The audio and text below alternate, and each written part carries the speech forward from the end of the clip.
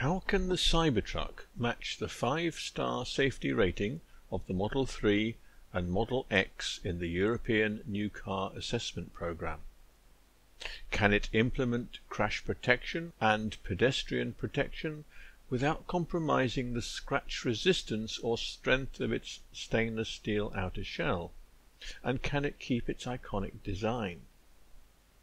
One simple addition would be lighting and reflectors to make sure the vehicle is visible from the side, especially at night, and the ability to flash those lights if another vehicle comes too close in a car park.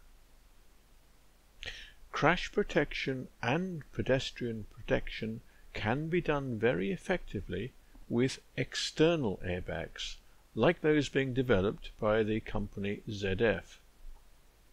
These extra strong airbags could protect against a side collision and be built into a running board between the front and rear wheels. This could be bolted to the vehicle so that it can easily be replaced after an airbag discharge, no need to scrap the vehicle. A similar extra strong airbag could be deployed from the front bumper, preventing a child going under the vehicle as well as preventing the head of an adult hitting the windscreen. Such an airbag deploying from the front bumper needs a soft outer bag to protect pedestrians and a much harder inner bag to protect from vehicle to vehicle collisions or from going into a concrete barrier. Other external airbags could protect the rear and rear corners discharged from a rear bumper. The Cybertruck will already have the other essential component for this system. The comprehensive array of sensors and the software needed to predict that a collision is imminent and unavoidable.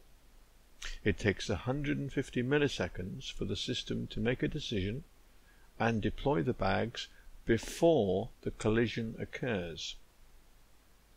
Because the crash protection is under software control, the deployment can be turned off when off-roading and not deployed for low-speed contact in a car park where the occupants are not at risk.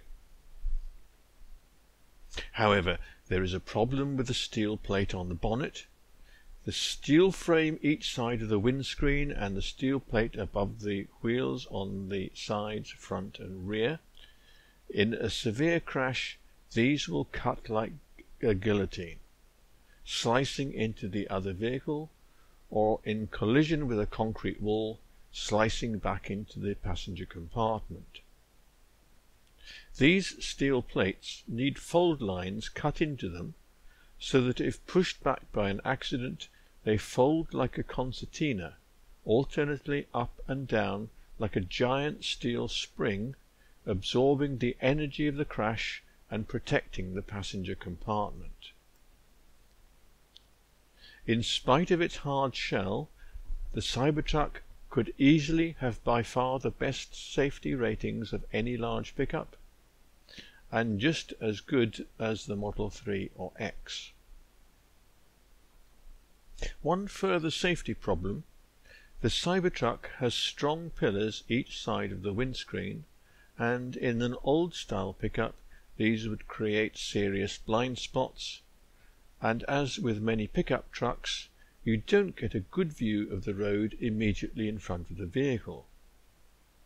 Off-roading as well as city streets are so much safer if you can see exactly what is in front of your vehicle or in front of each wheel. Screens in front of these front side pillars as well as a screen that runs the full length below the windscreen are ideal to give the driver an accurate view of what he otherwise would not see. With the camera and radar technology already built into the Cybertruck and the computer to make it work, these blind spots would simply go away and any hazards can be highlighted on the screens, enhancing safety for those in the vehicle and for pedestrians outside.